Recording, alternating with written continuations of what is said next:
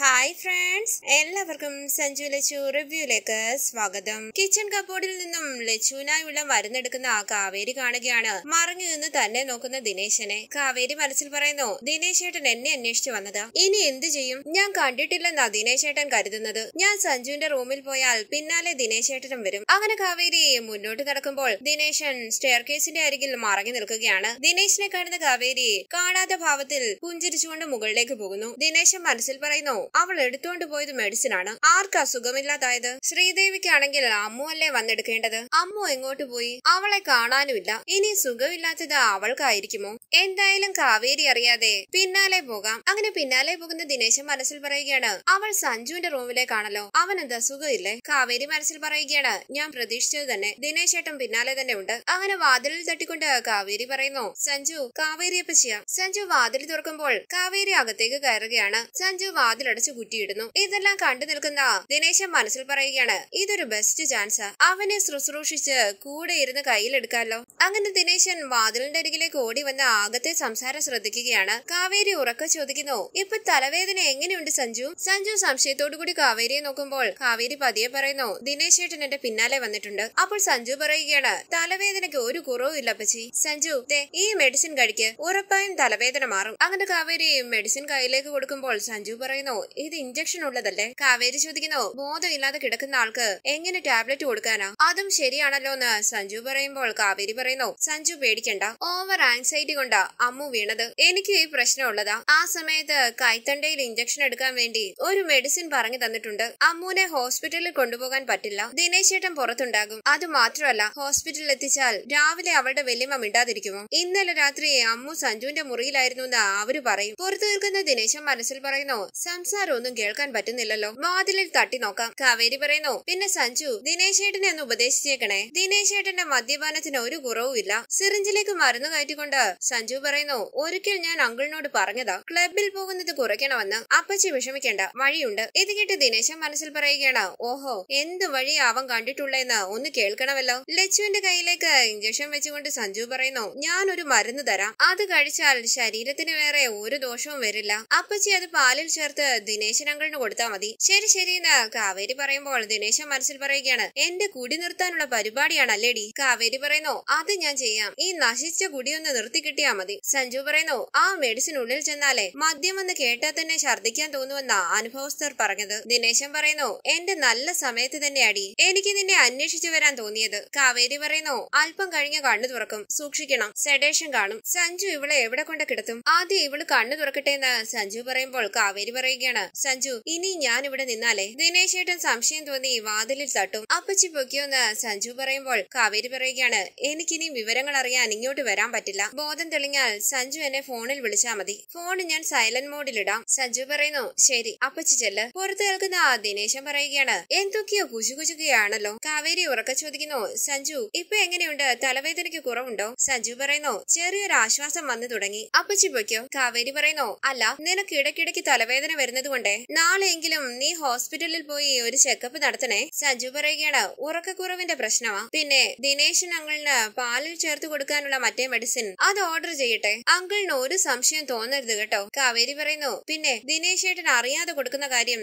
ഞാൻ ഏറ്റു. ദിനേശൻ മനസ്സിൽ പറയുകയാണ് ഈ വീട്ടിൽ നിന്ന് പാൽ കൂടി ഞാൻ നിർത്തിയടി. പാലെന്നല്ല വെള്ളം പോലും കുടിക്കണമെന്ന് ഇനിയൊന്ന് ആലോചിക്കണം. തുടർന്ന് വാതിൽ തുറക്കാനായി വരുന്ന കാവേരി പറയുന്നു അതെ ദിനേശ് ഏട്ടൻ ഉണർന്നിട്ട് എന്നെ വിളിക്കും. കണ്ടില്ലെങ്കിൽ ടെൻഷനായിട്ട് എഴുന്നേറ്റ് വരും. എന്തെങ്കിലും ആവശ്യമുണ്ടെങ്കിൽ സഞ്ജു എന്നെ വിളിച്ചാ മതി. സഞ്ജു പറയുന്നു ശരി അപ്പച്ചി ഇറങ്ങിക്കോ. ഞാൻ വാതിലടയ്ക്കാം ഇത് കേട്ട് ദിനേശൻ മാറി നിൽക്കുകയാണ്. കാവേരി റൂമിൽ നിന്നും ഇറങ്ങുമ്പോൾ സഞ്ജു വാതിലടച്ച് കുറ്റിയിടുന്നു. ചുറ്റും നോക്കിയിട്ട് കാവേരി അവിടെ നിന്ന് പോകുന്നു. തുടർന്ന് ലച്ചു ഉണരുന്നതും കാത്ത് ബെഡിലേക്ക് വന്നിരിക്കുകയാണ് സഞ്ജു. പെട്ടെന്ന് സഞ്ജു ഓർക്കുകയാണ് മംഗലശ്ശേരിയിൽ മുഖംമൂടിയൊക്കെ വെച്ച് ഫ്രെഡി വന്നതും സഞ്ജുവിന്റെ കഴുത്തിൽ കത്തി വെച്ചപ്പോൾ ഫ്ലവർ വേസ് എടുത്ത് അദ്ദേഹത്തെ അയാൾ കൊല്ലുവെന്ന് പറഞ്ഞ് ലച്ചു ഫ്രെഡിയുടെ കണ്ണിനിട്ടെറിഞ്ഞതും തുടർന്ന് വിഷമത്തോടുകൂടി ലച്ചുവിനെ നോക്കിയിരിക്കുകയാണ് സഞ്ജു. പിന്നീട് കാണിക്കുന്നത് ബെഡ്റൂമിലേക്ക് വന്ന ദിനേശൻ ഉറക്കം നടിച്ച് ബെഡിൽ കിടക്കുകയാണ്. കാവേരി പുഞ്ചിരിച്ചുകൊണ്ട് ദിനേശനെ തന്നെ നോക്കി നിൽക്കുന്നു. കണ്ണടച്ചു കിടക്കുന്ന ദിനേശൻ മനസ്സിൽ പറയുകയാണ് ഞാൻ അല്പം മദ്യപിക്കുന്നതാണ് അവൾക്ക് സഹിക്കാൻ പറ്റാത്ത കാര്യം. അവന്റെ അടുത്തുനിന്ന് പ്രശ്നപരിഹാരവുമായി അവൾ വന്നിട്ടുണ്ട്. കാവേരി മനസ്സിൽ പറയുന്നു പാവം ഒന്നും അറിയാത്ത മട്ടിലുള്ള കിടപ്പ് കണ്ടില്ലേ?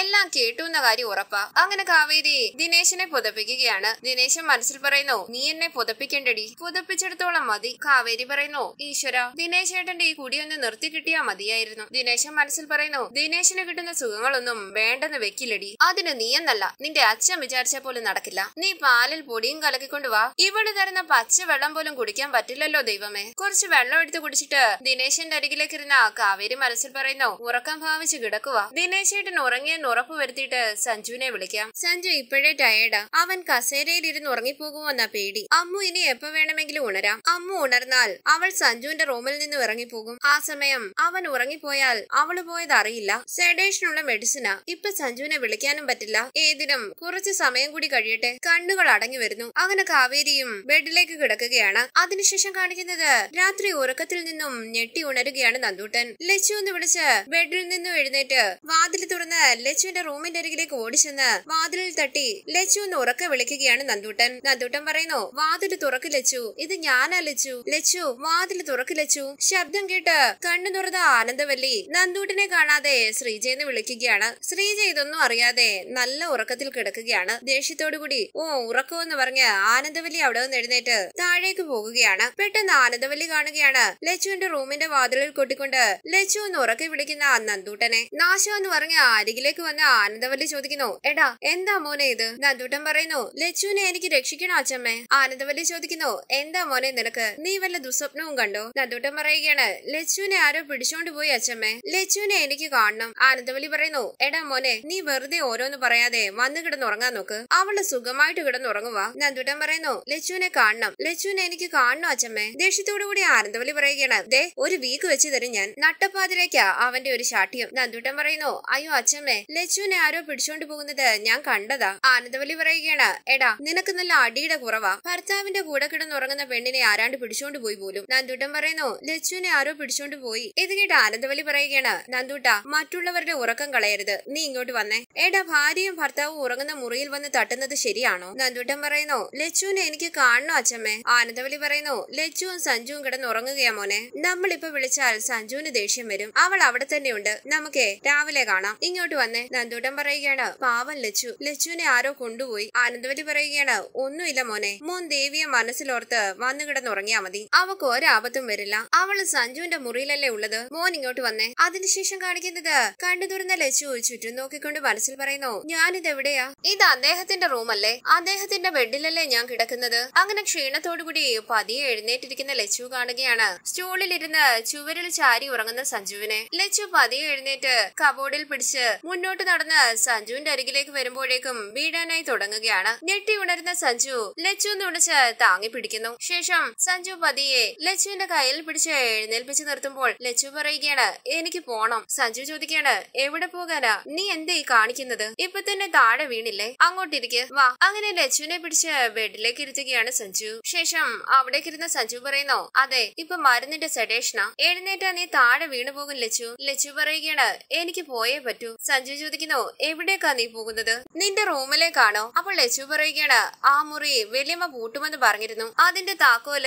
വല്യമ്മയുടെ മുറിയില. സഞ്ജു പറയുകയാണ് ഞാൻ പറയുന്നത് നീ ഒന്ന് കേൾക്ക്. ഇപ്പൊ കണ്ണു തുറന്നതല്ലേ ഉള്ളൂ. മയക്കം ഒന്ന് മാറട്ടെ. അതുവരെ നീ ഇവിടെ കിടക്കുകയോ ഇരിക്കുകയോ എന്താണെന്ന് വെച്ചാൽ ചെയ്യ്. നിനക്ക് നടക്കാനുള്ള അവസ്ഥയാകുമ്പോൾ പുറത്തു പോയാ മതി. ദേ ഇനിയിപ്പൊ ആരും വരാനില്ല. എല്ലാവരും ഉറങ്ങിക്കഴിഞ്ഞു. നിനക്ക് കുടിക്കാൻ എന്തേലും വേണോ? ലച്ചു പറയുന്നു വേണ്ട. എനിക്കൊന്ന് പുറത്തു പോയാ മതി. സഞ്ജു പറയുന്നു പോകാം. അവിടെ സെറ്റിയിൽ പോയി കിടന്നാ മതി. കുറച്ച് സമയം കൂടി കഴിയട്ടെ. ലച്ചു പറയുന്നു അവിടെ കഴിച്ചുകൂട്ടാൻ പറ്റില്ല. ആരെങ്കിലും പുറത്തേക്ക് വരും. പിന്നെ എന്താ നീ ചെയ്യാൻ പോകുന്നതെന്ന് സഞ്ജു ചോദിക്കുമ്പോൾ ലച്ചു പറയുകയാണ് ഞാൻ ബാൽക്കണിയിൽ ഇരുന്നോളാം ഇത് കേട്ട് സഞ്ജു പറയുകയാണ് കൊള്ളാം. അവിടെ ഒട്ടും സേഫ് അല്ല. ദേ എന്തു വന്നാലും നിന്നെ ഞാൻ അങ്ങോട്ട് വിടില്ല. ലച്ചു ബെഡിൽ നിന്നും എഴുന്നേറ്റ് വാതിലിന്റെ അരികിലേക്ക് പോകുമ്പോൾ പിന്നിൽ നിന്ന് ലച്ചു എന്ന് വിളിക്കുകയാണ് സഞ്ജു. ലച്ചു പറയുന്നു ഞാൻ പോണു. സഞ്ജു ചോദിക്കുന്നു താഴെ കാണെങ്കിൽ നീ എങ്ങനെ സ്റ്റെയർ ഇറങ്ങും? ബാലൻസ് ഇല്ലാതെ നിനക്ക് കാൽ നിലത്ത് വെക്കാൻ പറ്റില്ല. അടി തെറ്റി താഴെ വീഴും. നിന്നെ ഞാൻ അവിടെ എത്തിക്കാം. കിച്ചണിൽ പോയി ഷീറ്റ് വിരിച്ചു കിടക്കാൻ പറ്റുമെങ്കിൽ ആരും അറിയില്ല. ലച്ചു പറയുന്നു ഞാൻ ടെറസിലേക്ക് പോകാം. അവിടെ ആരും വരില്ലല്ലോ. സജു പറയുകയാണ്